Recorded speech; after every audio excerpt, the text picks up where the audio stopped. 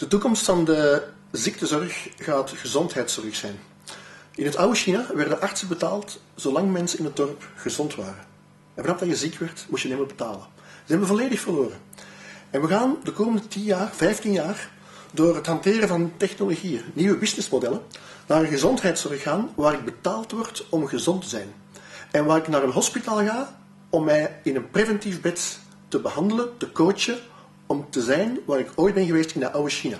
In een omgeving, in een, in een staat die mij gezond houdt en die mij verhindert en mij eigenlijk begeleidt om nooit meer ziek te worden.